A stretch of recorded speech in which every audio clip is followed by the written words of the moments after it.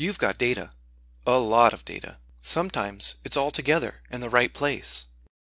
A lot of times it's not. Getting data isn't always the problem. The problem is getting all your raw data to ready data so you can get reliable answers. Until now, all of this was a manual process that could take days, weeks, or even months. With Paxata, it's simple. The first step is to import your data into the data library as a dataset. For Paxata, the size and source of the data doesn't matter. You can quickly gather all your data into the data library. Once your data is in the data library, you can bring it into a project. In a project, you prep your data in an easy, familiar, spreadsheet-like environment with clicks, not code. This is where you will clean, shape, and combine your data. When you've finished prepping your data, you are ready to publish an answer set. An answer set is the result of your project in the form of a data set. Answer sets are stored with your data sets in the data library.